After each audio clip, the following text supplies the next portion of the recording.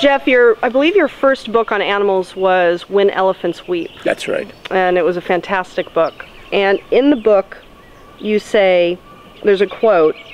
It says, The notion that animals are wholly other than humans, despite our common ancestry, is more irrational than the notion that they are like us.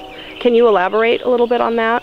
Well, I was thinking primarily there of the continuity in our emotional lives because that was so difficult to get across to scientists. Science, of course, mind you, Darwin already in 1872 recognized this continuity and wrote a whole book about the expression of emotions in man and animals. So he was fascinated by this and by the similarity.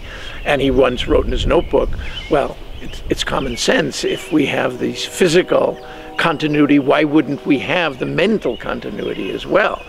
So if people had taken that seriously in 1872, we'd be a lot more advanced than we are now. But I think there's been a real sea change, I'd say in the last 10 or 15 years. And when Elephants Weep was part of that, now there are many scientists, more competent scientists than me writing about this um, constantly today. Um, there are three or four books just in the last few years about the emotional world of animals. I think it's being recognized today that we not only share continuity, but there are profound similarities in over the whole wide range of human emotions.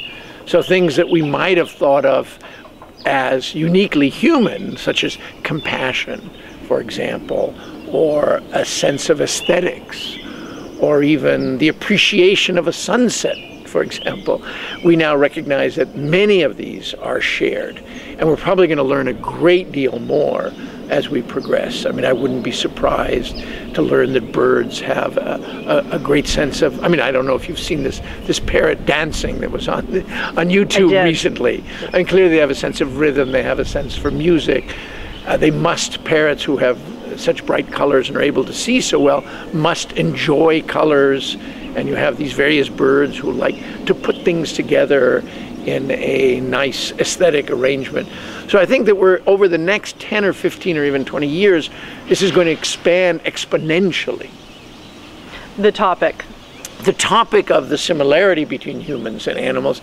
And even, I'll go even further, I wouldn't be surprised if we learn that there are certain animals who have certain emotions that we don't have. That is, that they're capable of something that humans are not yet capable of. That wouldn't surprise me. For example, maybe elephants grieve more deeply than humans do. I do believe, by the way, to come back to our earlier question, that dogs feel love more purely than do humans. It's not contaminated with any kind of ambivalence. When a dog loves, they love purely. Excellent.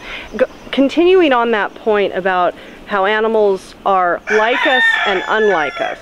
It it leads me to think about animal experimentation, for example, because it is hypocritical inherently if we're going to test on them because they're so like us yet we insist they're so different from us that That's they don't right. Yeah. feel I mean, any pain or discomfort. Yeah, or... I think uh, that that idea is now the, the, way you've just expressed it has really taken hold, and I think you you it would be a rare scientist that wouldn't agree that there is this inherent contradiction, and that we've tried to have it in the past both ways to say, well, they're totally unlike us, they're incapable of the profundities we're capable of, therefore we can experiment on them and torture them and harm them in all these different ways. On the other hand, the reason we're doing this is to learn about ourselves. So you can't have both. If they're like us, then we shouldn't be doing this. If they're not like us, then we're not going to learn anything. But yet, it still continues. It continues, unfortunately. I noticed just a few days ago in the Wall Street Journal there was a front page article about the suffering of mice and rats, which is fascinating to me that a journal like the Wall Street Journal would talk about this in a serious fashion. I mean, a number of scientists are recognizing now, for example, that rats and mice uh, can feel compassion and have, in fact, feelings for cage mates. They will not eat food if eating the food entails a shock to another rat.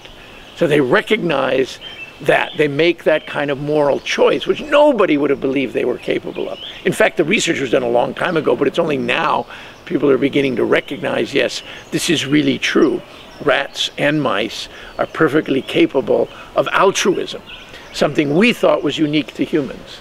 I recently um, heard or read that mice and rats were more largely used maybe in the 40s, 50s, 30s, 40s, 50s for experimentation because people did not equate pets the same qualities. Well, that's right. In fact, this them. article in, in the Wall Street Journal pointed out that people have a very negative view of rats and mice, and that is changing. I mean, I've lived with pet rats, and they're really quite wonderful. They're very um, affectionate, they're intelligent, they're clean. Uh, they're loyal. We had a rat. Uh, my, my son, my 12 year old son Ilan, would carry his three rats in his sleeve almost all day. He would take them to school. He, he would hang with them all day. And one day, one of them, we left her by mistake at a gas station. They were wandering around and we didn't realize it. Three days later, we went back and she was waiting inside the bush. And when my son called, she came rushing out and jumped into his sleeve. Home! oh my gosh. I also had uh, two rats Uh-huh. many years ago, and they were loving. They got along with my cats. My cats liked the rats. yes. Um, yeah, very affectionate. They were yeah, they, they're, they're actually wonderful animals. So our whole view about um, rodents is changing.